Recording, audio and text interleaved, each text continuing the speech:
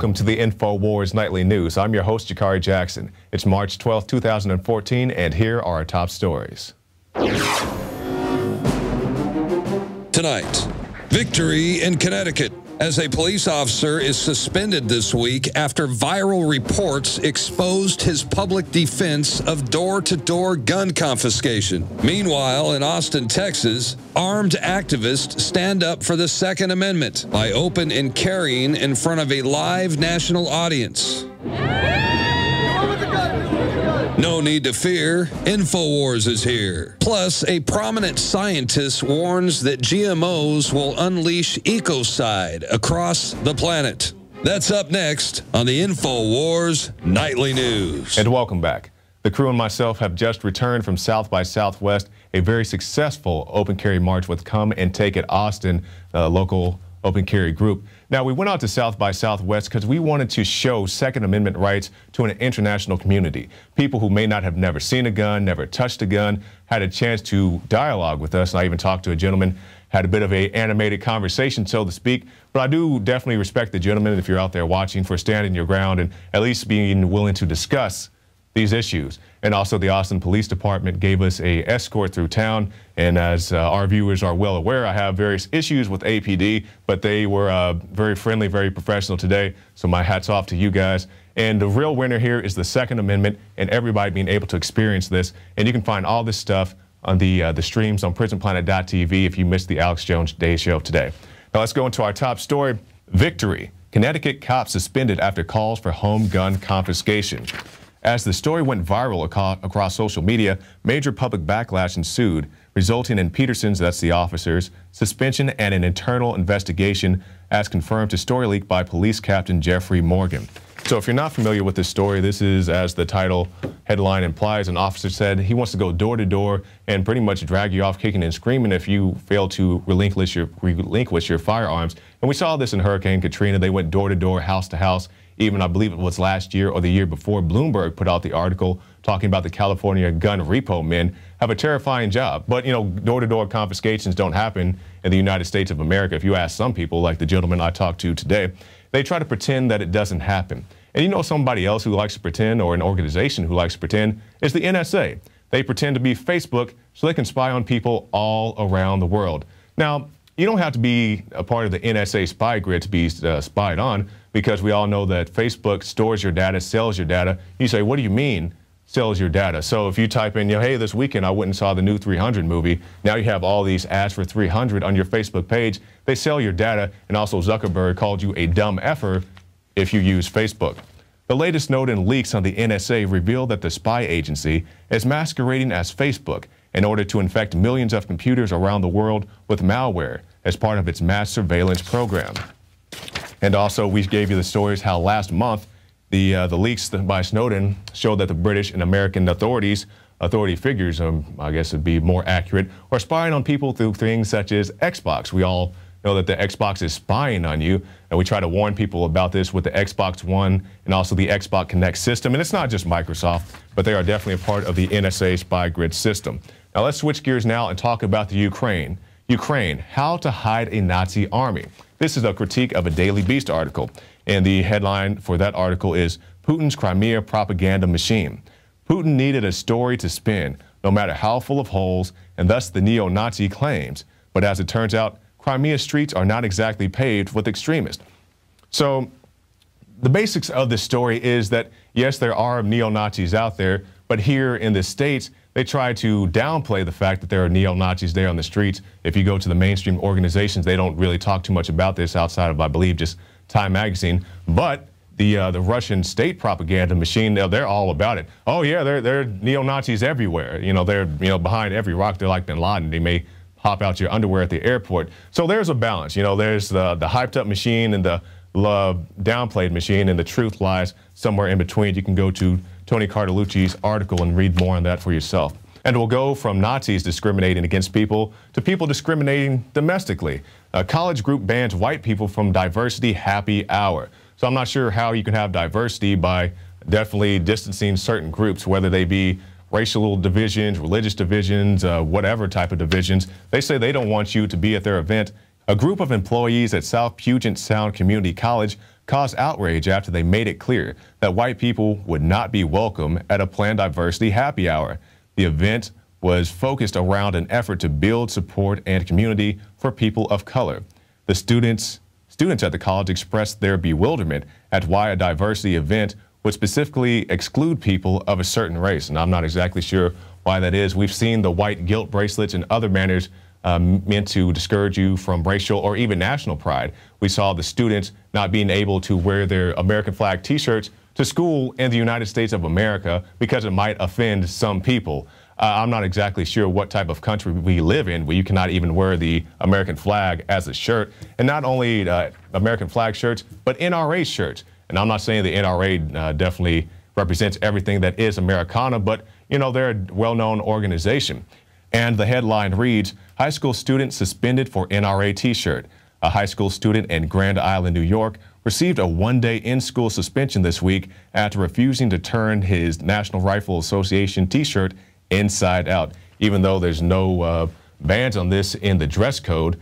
And we've seen this before. Like I said, we talked about the American flag shirts, people who wear, you know, army type shirts. Your dad's in the Marines, your dad's in the Army, you have an Army t shirt on. No, you can't have that because that promotes guns. Well, I mean, the Army carries guns. You see the commercials all the time. You see them during the Super Bowl, at the Super Bowl. I, I don't understand why you can't have the gun, just this evil, wicked thing. But, you know, you can go down to 6th Street here in the city of Austin, Texas, and run around topless, and that's all peachy keen. But, you know, if you see a gun, they act like that's crude and disgusting and disrespectful to people. I just don't understand the type of world that we live in today. And we'll end tonight with this something else that I don't understand. GMOs unleash global killer ecocide across the planet, warns a prominent scientist. And I don't understand why you would allow GMOs to do such a thing because we've already seen the stories about GMOs giving uh, horrible tumors to rats. I don't understand why you would continue to feed that to your population. GMOs in California, they wanted labeled, but the big uh, the big companies got behind it and they said, no, if you uh, make us label your foods, then you'll have to pay more for the labeling, as if they don't change their labeling for every major sports venue or for the new blockbuster movie. These are the things that I don't understand. And the gentleman, Nassim Taleb, the author of Black Swan and Fooled by Randomness, says that GMOs have the potential to cause an irreversible termination of life at some scale, which could be the planet. That's exactly right because these GMO crops will blow into your field, infect your, your crop, and then the big agri companies will come and say, hey, you're using our stuff without our permission. We have to shut you down. Or your, uh, your animals, your children may eat these things and become ill. Like I said, we've referenced the rats who ate this stuff and became horribly ill. So Mike Adams article and read more of this for yourself. And when we talk about more, you're going to get more. You're going to get more out of this South by Southwest March because after this break, Alex Jones will be giving you a new clip. Uh, I, I, was talking to the guys. I think this is going to go down in history as the new Mike Martinez clip. If you're not familiar, Austin City Council member Mike Martinez said he wanted to make the gun ban legitimate. And, you know, we find a reason to show that every two or three weeks because the gun ban is ramping up more and more and more. I think this is going to replace this as the new clip, so you don't want to miss that. And also, Leanne McAdoo will be giving you her thoughts on the uh, the South by Southwest March. But first, if you like this broadcast and you would like to see it continue, stop by PrisonPlanet.tv and get yourself a 15-day free trial. You can see the Alex Jones Show, the nightly news, the rants, the special reports, all right there at PrisonPlanet.tv. So stay tuned after this break for an Alex Jones special report.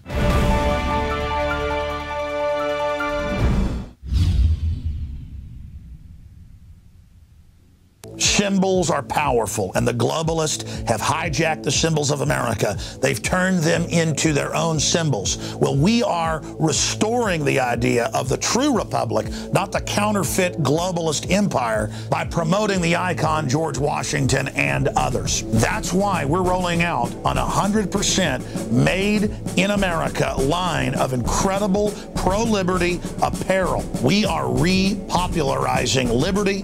We are helping fellow Americans rediscover what made this country great. We are the spirit of 1776. We are 1776 worldwide. We are all brothers and sisters in arms in the animating contest of liberty in the long march towards humanity's ultimate destiny of freedom. Visit madein1776.com today and vote with your dollars to promote truly made in America, high quality products, and promote the of liberty.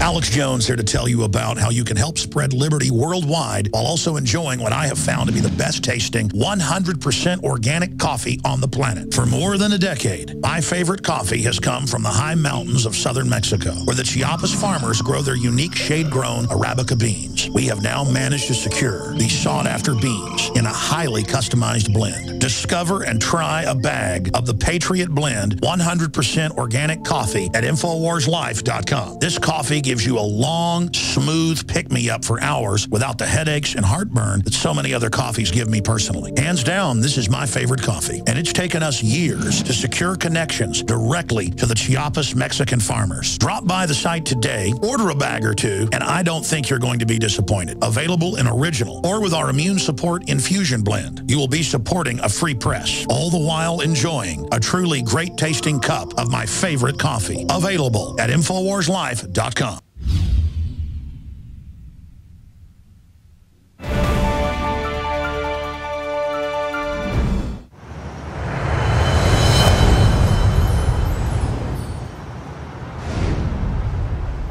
On the face of this globe, there are more than 180 nations, and less than six of them allow their citizens to keep and bear arms.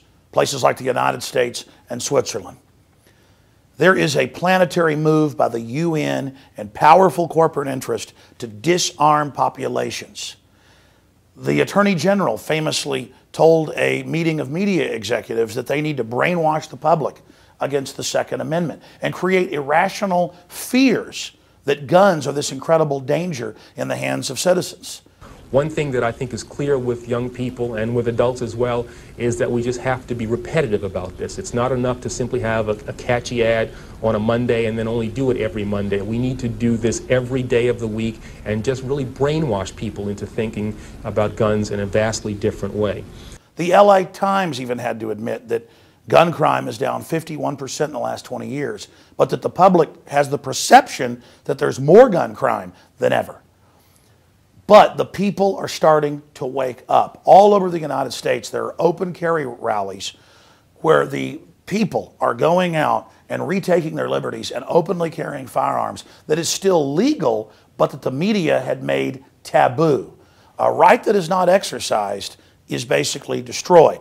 Mayor Bloomberg, financed by the World Bank, sponsoring South by Southwest here in Austin, has come into town and financed multiple anti gun events where they're even talking about how to censor free speech on Facebook to shut down the argument.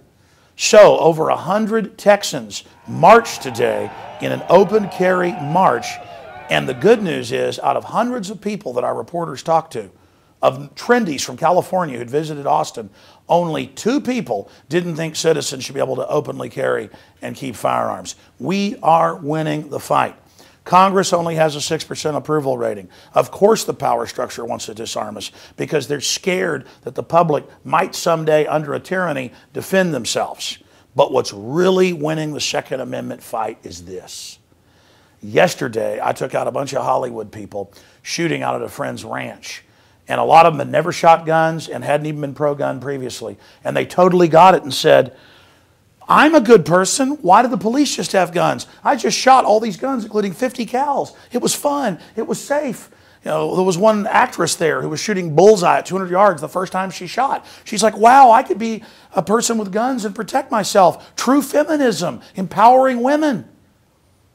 The fake feminists want men out of the picture to make the state the husband. That's what the system admits they're doing. And so we took these women and men out, they shot firearms and were converted in the matter of hours over to fully understanding the spirit of 1776 and individual freedom. And in closing, we have a clip of some young geisha girls today down in South by Southwest in downtown Austin. When they were handed an M4, M16 variant, their eyes just lit up.